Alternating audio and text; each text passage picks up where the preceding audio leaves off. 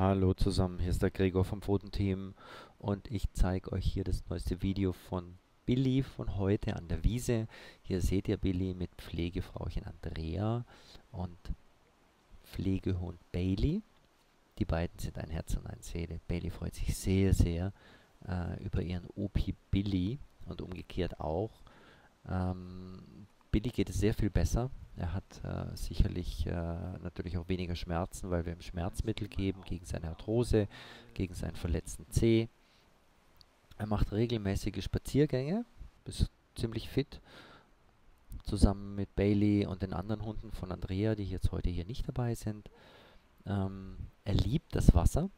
Wenn wir ihn hier nicht an der Leine gehabt hätten, er wäre sofort in die Wiese gesprungen. Also er Andrea sagt, er springt in jede Pfütze, in jeden kleinen Bach ähm, und ist einfach eine Wasserratte, egal wie kalt es draußen ist. Ähm, ja, es geht ihm wirklich besser. Wir suchen tatsächlich immer noch eine, eine Endstelle für ihn, aber momentan äh, ist er bei Andrea und da geht es ihm gut und da wird er auch tierärztlich überwacht und beobachtet.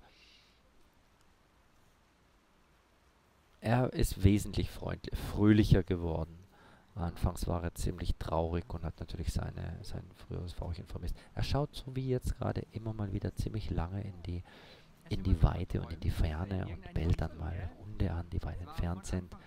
Aber es geht ihm tatsächlich viel, viel besser wie früher.